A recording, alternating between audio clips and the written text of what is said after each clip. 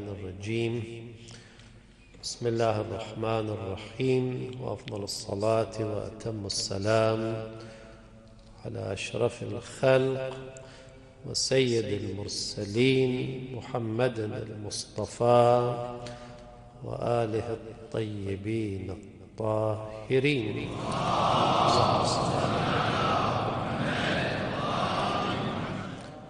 السلام عليكم إخواني أخواتي جميعا ورحمة الله وبركاته. من السور القرآنية المرتبطة بأهل البيت عليهم السلام سورة الدهر أو سورة الإنسان.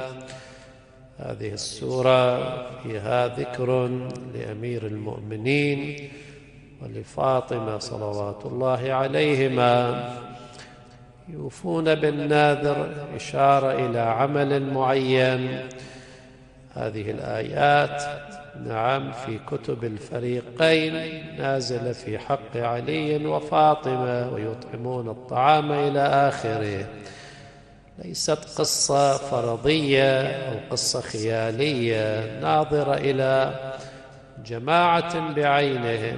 إذا سورة الدهر سورة الإنسان سورة مرتبطة بأهل البيت عليهم السلام. في سورة الفجر أيضا يا أيتها النفس المطمئنة ارجعي إلى ربك. أيضا هذه السورة فيها إشارة لسيد الشهداء صلوات الله عليه الذي يدمن على قراءة سورة الفجر. يصبح له تعلق بسيد الشهداء هذه ثانيا. السورة الثالثة طبعا الآيات في أهل البيت كثيرة نازلة إنما وليكم الله. آية الغدير لسنا في مقام الحاصر كلام كلامنا في بعض السور ومنها الكوثر. إنا أعطيناك الكوثر. هناك بحث بين العلماء بين من يتدبر في القرآن الكريم. رب العالمين متى يقول إنا ومتى يقول إني؟ هكذا يقال وهو ليس ببعيد عن التحقيق. إني أنا الله خطاب لموسى عليه السلام. إنني معكما أسمع وأرى. يقال في مقام المؤانسة واللطف. رب العالمين يستعمل كلمة إنني ولو في بعض الموارد. في مقام التفخيم والتعظيم الفتح إنا فتحنا لك فتحا مبينا.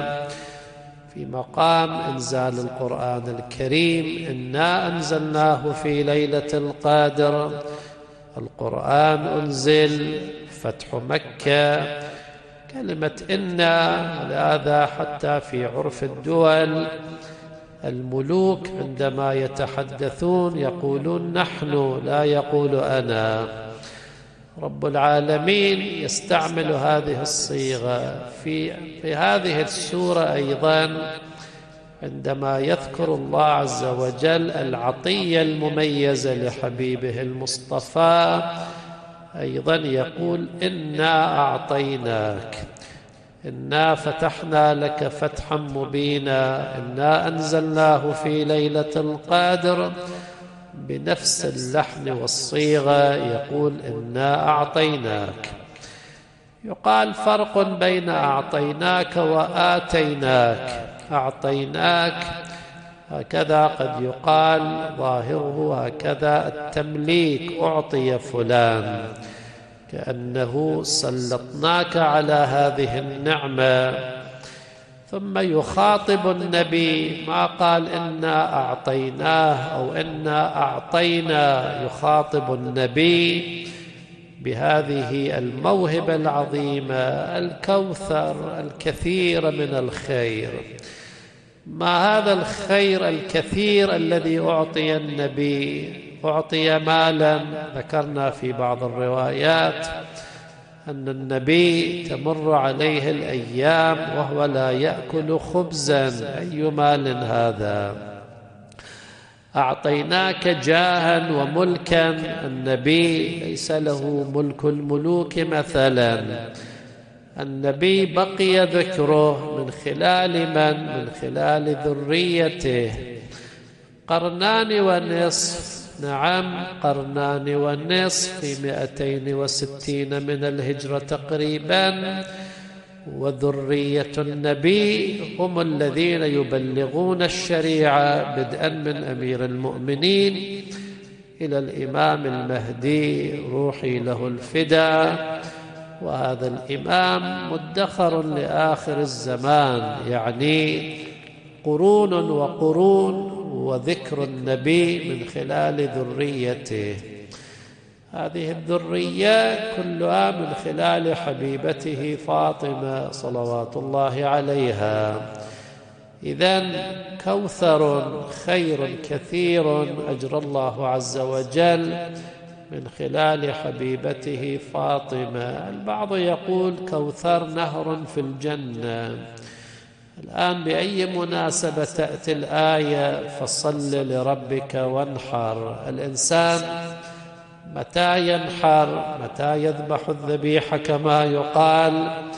عندما يأتيه مولود صل لله شكرا وانحر.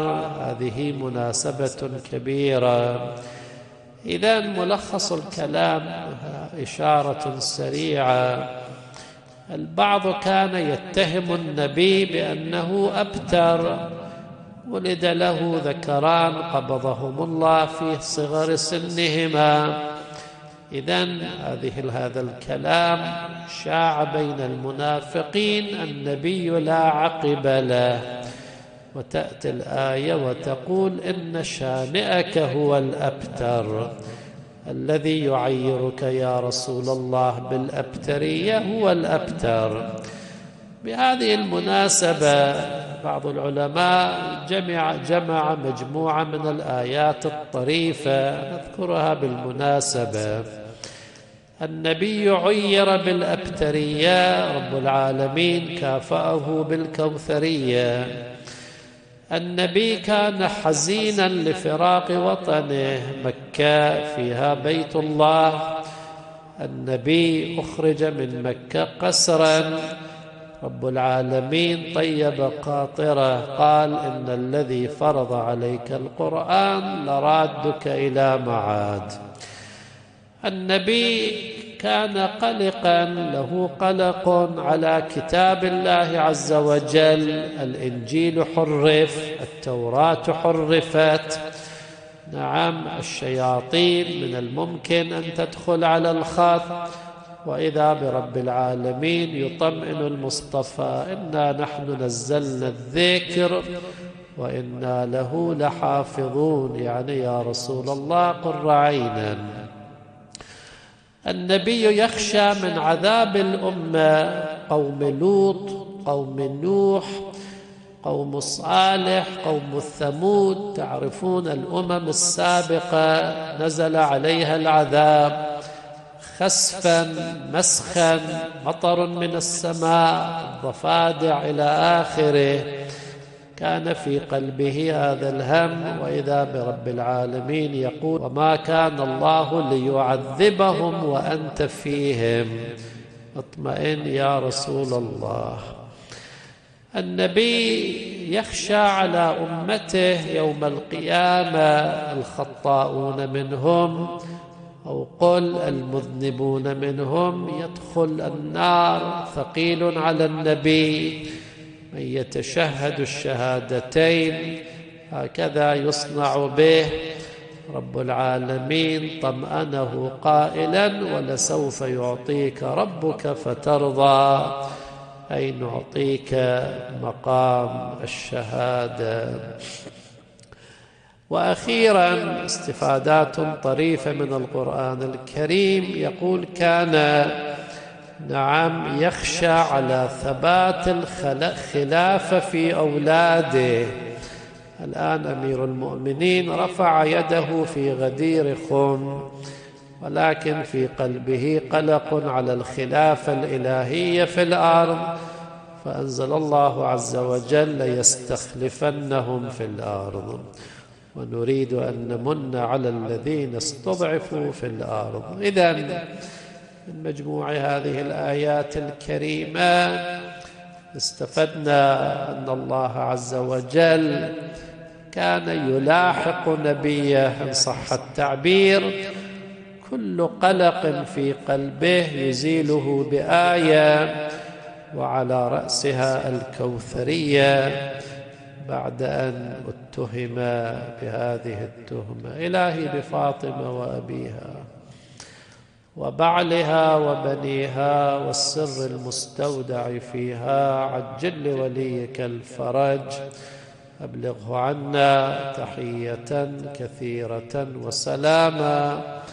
وإلى أرواح المؤمنين والمؤمنات نهدي ثواب الفاتحة مع الصلاة.